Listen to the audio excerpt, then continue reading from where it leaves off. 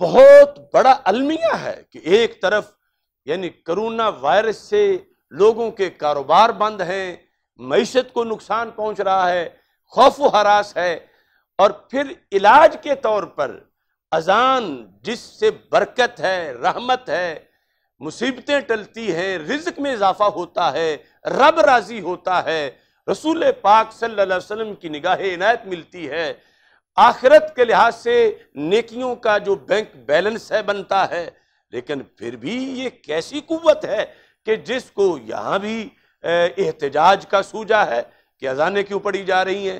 علماء نے مشورہ دیا ہے کہ اپنے گھروں کی چھتوں پہ چڑھ جاؤ اور اذانیں دو۔ اجتماعی اذانیں دو تاکہ یہ وبا اللہ ہم سے اٹھا لے۔ پیارے بھائی، سنت پہ عمل کرو گے تو اللہ راضی ہوگا۔ سنت کے راستے کو چھوڑ کے بدعات کو اپناؤ گے تو اللہ ناراض ہوگا۔ کسی صحیح حدیث سے یہ بات ثابت نہیں کہ مصیبت آنے پر اجتماعی اذانیں دی جائیں، چھتوں پہ چڑھا جائے، کچھ لوگ قبروں پہ جا کے اذانیں دیتے ہیں، کوئی سیلاب کے آنے پہ اذانیں دیتے ہیں، کوئی مختلف موقعوں پہ اذانیں دیتے ہیں۔ کسی صحیح حدیث سے یہ بات ثابت نہیں ہے۔ تو اس لیے اللہ کو راضی کرنا ہے تو نبی کریم صلی اللہ علیہ وسلم کی سنت پہ آئیے۔ آپ اللہ کے نبی صلی اللہ علیہ وسلم کی سنت کو چھوڑ کر دین میں نئے کام کریں گے تو اللہ راضی نہیں ہوگا، بلکہ اللہ اور ناراض ہوگا۔ اس کو جو بدت کہہ رہا ہے، وہ ہمیں بتائے تو صحیح کہ وہ کن سنتوں پہ عمل کر رہے ہیں۔ مندر اور گرجے بنا کر، مودی کو ایوارڈ پہنا کر اور ٹرمپ کے سامنے اپنے آداب بجا کر وہ کون سی سنتیں ادا کر رہے ہیں؟ اور اس پر جو امت عمل کرتی آئی ہے اس کے مقابلے میں انہیں شرم نہیں آتی کہ یہ بدت ہے، یہ فلاں ہے، جبکہ اپنے گھر کی انہوں نے کبھی تلاشی ہی نہیں لی۔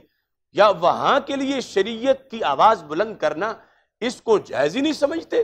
اور صرف ایمان بالریال والدولار کی صورت میں وہ اپنی زندگی جو ہے وہ بسر کر رہے ہیں۔ تو اس میں یہ حقیقت بھی آپ حضرات کے سامنے میں پیش کرنا چاہتا ہوں۔ چلو، اعلی حضرت کا میں نام لیتا ہی جاؤں گا تو ان پر تو ایک بجلی گرے گی۔ فتح شامی کا، البحر الرائق کا نام سنتے ہی ان کے لیے بڑے مسائل بن جائیں گے۔ امام ابن قیم الجوزیہ، الوابل السیب من الکلم الطیب، اس سے انہیں حوالہ پیش کر رہا ہوں۔ شاید کہ تیرے دل میں اتر جائے کھری بات۔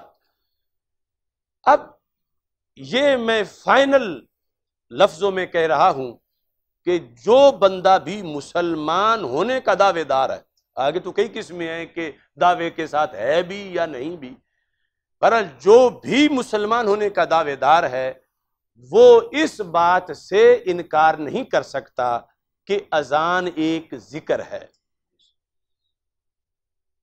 اس پر محققین نے تو بڑا جامع ذکر کہ اس میں عقائد ہیں، اعمال ہے، دنیا کے لیے ہے، آخرت کی فلاح ہے۔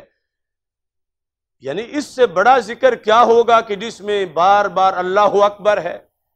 اس سے بڑا ذکر کیا ہوگا کہ جس میں شہادتین ہیں، اللہ کے ایک ہونے کی گواہی ہے، رسول پاک صلی اللہ علیہ وسلم کے رسول ہونے کی گواہی ہے۔ اب یہ ذکر تو بال یقین ہے۔ توصیف الرحمان بھی امید ہے کہ انکار نہیں کر سکے گا۔ ہاں دوسری پاور جو ہے وہ شیطان، وہ تو منکر ہے ہر چیز کا۔ لیکن ہم نام نہیں بگاڑیں گے۔ توصیف الرحمان انکار نہیں کر پائے گا اس کے ذکر ہونے کا۔ اور جو ذکر ہے، اگر اس نے کچھ منطق، تھوڑا بہت منہ مارا ہوتا شاید تو میرے لیے بڑی آج آسانی ہو جاتی کہ الزان ذکر اللہ ہی یہ سغرا ہے کہ اذان اللہ کا ذکر ہے اور جو بھی اللہ کا ذکر ہے، اس سے دل کو اطمینان ملتا ہے۔ یہ جو کبرا ہے لے قول ہی اللہ بذکر اللہ تطمئن القلوب تو نتیجہ کیا نکلا کہ اذان پڑھنے سے دلوں کو سکون ملتا ہے۔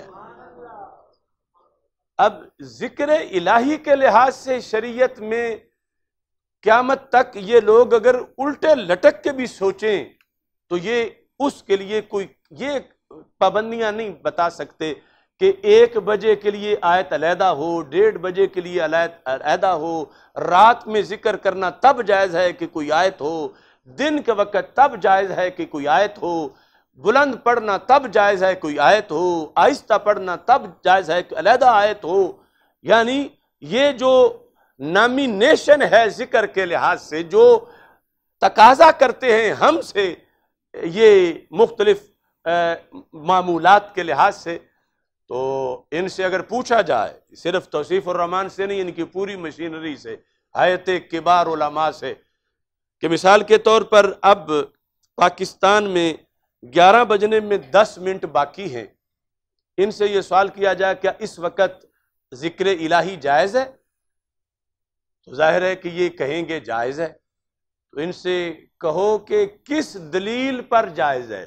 کون سی آیت اگر وہ مطلقاً کہیں، چونکہ آیتیں تو ساری مطلق ہیں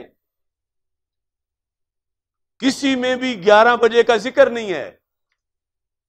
تو جب کوئی بھی پڑھے وز کرسما ربے کا کوئی آیت بھی پڑھے، آپ پوچھیں کہ تمہارے قانون کے مطابق اس معین ذکر کی دلیل ہونی چاہیے۔ گیارہ بجنے میں دس منٹ رہتے ہوں، جسے تم نے جائز کہا ہے۔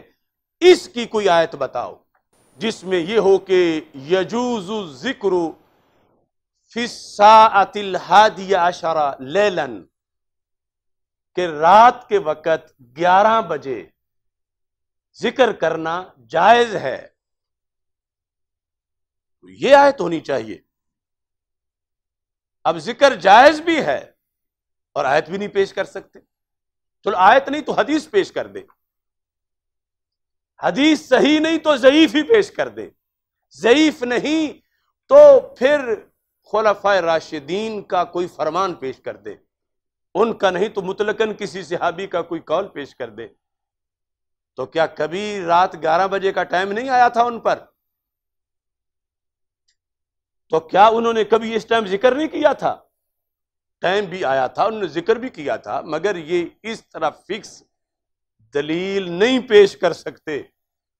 تو پتا چلا کہ قانون کلی ہوتا ہے اور اس سے جزیات کے احکام اخذ کیے جاتے ہیں۔ اور اس کے مطابق ہمارا جو بیانیہ ہے، اس پر ہم ایک بجے، ڈیڑھ بجے، پونے دو بجے، جو کچھ بھی ہو، گھر میں، باہر، جنگل میں، صحرا میں، مکان کے اندر، مکان کی چھت پر یعنی مختلف اوقات، مختلف موازے کے اندر ذکر کرنے کو ہم قرآن سے بھی ثابت کر سکتے ہیں، حدیث سے بھی ثابت کر سکتے ہیں اور اسی لحاظ سے ہم اذانیں بھی ثابت کر رہے ہیں۔ لیکن جس بیس پہ یہ اذانوں کو بدت کہہ رہے ہیں، اس بیس پہ تو پھر ذکر خدا کے لیے کوئی کم از کم دس بارہ لاکھ آیات ہونی چاہیے تھیں جن میں ہر ہر منٹ کا حکم ہوتا، ہر گھنٹے کا ہوتا، ہر جگہ کا ہوتا، تو پھر ذکر جا کے جائز ہوتا۔ ورنہ اپنے قانون کے مطابق تو یہ ذکر الہی پر تالے لگا چکے ہیں۔ کہ جب تک معین جزی حکم نہیں ہوگا، ان کے دین کے مطابق جائز نہیں ہوگا، اگر اس پہ پورا عمل کر کے دکھائیں اور ظاہر کہ نہیں کر سکتے، تو پھر اس ناقابل عمل دین کو ترک کریں۔ وہ طریقہ اپنائیں جو امام اعظم ابو حنیفہ کا ہے، جو امام احمد بن حنبل کا ہے، جو امام مالک کا ہے، جو امام شافی کا ہے، رحمت اللہ علیہم۔ یا ان سے پہلے صحابہ و اہل بیت رضی اللہ تعالیٰ عنہ کا ہے، جو قرآن اور سنت کا طریقہ ہے۔ اب انہوں نے جو ڈگر اپنائی ہوئی ہے، اس کے مطابق اگر انہی سے پوچھا جائے، یہ ایک بندے پر نماز کی فرضیت نہیں ثابت کر سکتے، اور کیا دین ثابت کریں گے؟ ایک بندہ جس کا نام غزنفر ہے، وہ کہتا ہے کہ نماز مجھے بتاؤ، مجھ پہ فرض ہے۔ یہ کہیں گے فرض ہے، وہ کہے گے قرآن سے ثابت کرو۔ یہ پڑھیں گے عقیم الصلاح وہ کہے گا، یہ تو ہر کسی کی ہے، میں اپنی بات کر رہا ہوں۔ مجھے قرآن کہے، یا غزن فر فوردت علیہ کا پھر میں سمجھوں گا کہ مجھ پہ نماز فرض ہے۔ تو یہ قیامت تک تو ایک بندے پہ نماز فرض نہیں ثابت کر سکتے، اور دین کا کیا کام کر کے دکھائیں گے۔ تو اس بنیاد پر یعنی یہ جو انہوں نے اذانوں کو بدت کہا کہنے میں تو یہ لفظ آسان تھا، اب اس کا خمیازہ انہیں بھگتنا پڑے گا۔ اس پر قائم رہ کر دین کے لحاظ سے جو ان پر اعتراضات وارد ہو رہے ہیں، ان کا جواب انہیں دینا چاہیے۔ صرف یہ نہیں کہ بدت کہہ کے اور مسجدیں ویسے ہی بند کی ہوئی ہیں اور سب کچھ بند کر کے یہ فارغ ہو کے بیٹھ جائیں۔ ہرگز ایسا نہیں ہے۔ اب جو میں دلیل پیش کرنا چاہتا ہوں ابن قیم نے یہ تو مانا کہ اذان ذکر ہے۔ اور ابن قیم نے کہا کہ ذکر کے سو فوائد ہیں۔ پھر ذکر نحو من میات فائدہ یعنی تقریباً سو۔ اب ان میں سے میں صرف پہلے سات فائدے پڑھ رہا ہوں ذکر کے۔ پہلے سات فائدے تو جو اذان کے خلاف اس نے گفتگو کی یا کوئی اور جو کرے گا یا کر رہا ہے جو ہم تک نہیں پہنچی، ان کو ہم ذرا آئینہ دکھا رہے ہیں کہ یہ پہلے اپنے گھر کی تلاشی لو کہ جنہیں کچھ سمجھ بوجھ تھی ذکر کے مسئلے پر ان کی تشریحات تو پڑھو۔ اذان ذکر ہے اور ذکر سے کیا ہوتا ہے؟ یعنی اذان کا کیا فائدہ ہوگا؟ احداہا انہو یترد الشیطان، کہ یہ ذکر شیطان کو دھتکارتا ہے۔ عام ذکر بھی، اور یہ تو سپیشل ہے دھتکارنے والا، اذان والا ذکر۔ پھر، انہو یرد الرحمن، رب کو راضی کرتا ہے۔ اب جو بندہ شیطان کو دھتکارنا چاہتا ہے، وہ تو اذان کی خلاف ورزی نہیں کرے گا۔ اور جو رب کو راضی کرنا چاہتا ہے یرد الرحمن لو کانا اسمہ توصیف الرحمن، الذکر یرد الرحمن و یترد الشیطان، اسم وستم یا توصیف الرحمن۔ اب تیسرا، انہو یزیل الہم والغم عن القلب۔ ذکر ہر قسم کے غم و اندوں کو بگا دیتا ہے۔ اور یہ امت چاہتی ہے اس وقت۔ پھر، انہو الرابعت انہو یعنی اس لیے انا میں پڑھ رہا ہوں کہ کوئی انا یہ نہ کہے کہ یہ کیسے ہے، جملے کے شروع میں انا پڑھنا چاہیے تھا، تو یہ خبر بن رہی ہے۔ الرابعت انہو، اس لیے انہو پڑھا ہے۔ انہو یجلب للقلب الفرح والسرور والبست کہ ذکر سے دل خوش ہوتا ہے۔ ذکر کھینچ کے لے آتا ہے دل کے لیے خوشی کو، سرور کو اور تازگی کو۔ الخامسہ، انہو یقوی القلب والبدن، یہ دل کو تقویت دیتا ہے اور بدن کو تقویت دیتا ہے۔ یعنی عام ذکر بھی، اور یہ تو بڑا اخص الخاص ذکر ہے، اذان والا۔ تو اب بندے کو حوصلہ ہو، یہ مقوی قلب نسخہ ہے۔ کروڑوں حکیم ان کی ماجونیں وہ قوت نہیں دے سکتی جو اذان دیتی ہے۔ یو قلب والبدن، دل اور بدن کو تقویت دیتی ہے، اذان یعنی ذکر۔ پھر انہو ینور الوجہ والقلب، ذکر چہرے کو پرنور کرتا ہے اور دل سے بھی اندھیرے دور کرتا ہے۔ اب ظاہر ہے کہ یہ جسے پرنور چہرہ چاہیے، وہ تو اذان کی مخالفت نہیں کرے گا۔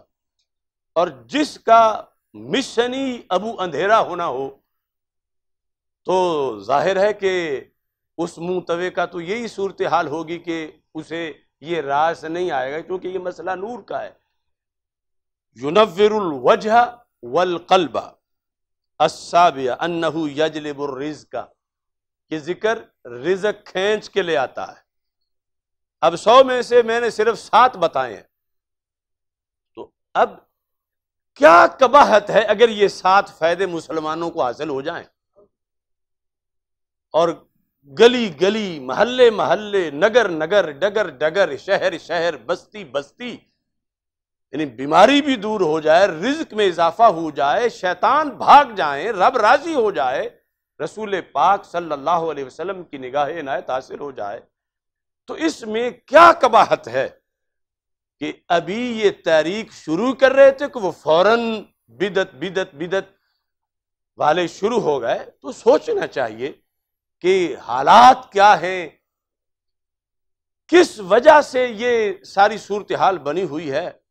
وہ کرتوت کے جس کی وجہ سے نیوم سٹی اور مندر اور گرجے اور پاک عرب مقدس پر یہود اور نصارہ کے گندے قدم اور پھر فضاؤں میں جو وحج کی نورانیت والی فضائیں ہیں، ان کے اندر فسق و فجور اور ان کے اندر یہ میوزک کا جو بارود بھرا جا رہا ہے، یہ مرکز میں بیٹھے ہوئے ان لوگوں کے جرائم پر پوری دنیا کو خمیازہ بھگتنا پڑ رہا ہے۔ اور ایسے ہی یعنی وائرس خواہ ادھر سے ہو کے آئے یا وہ ایران کی طرف سے ہو کے آئے، ہمیں تو علاج درکار ہے۔ اور علاج کے لیے یہ اذان جو ہے ایک مجرب نسخہ ہے۔ دنیا میں لگانے نکلے ہیں۔ اللہ